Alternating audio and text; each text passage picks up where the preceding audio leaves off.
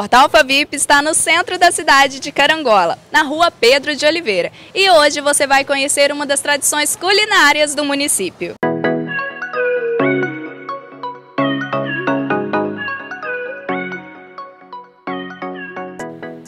A parada de hoje é aqui, na rua Coronel Novaes, na Casa do Salgado.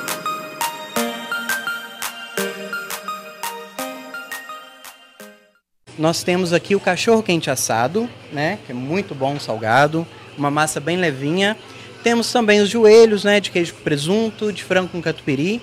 Tem a torta salgada também, que é uma massa deliciosa, bem levinha, que é frango, presunto, queijo, molho branco e tomate o recheio diferencial da nossa casa.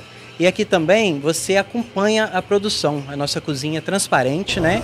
Então você chega, acompanha os meninos fazendo salgado o tempo todo. Essa matéria faz parte de uma série de reportagens sobre as tradições da cidade de Carangola que você confere no portal Alfa VIP Notícias.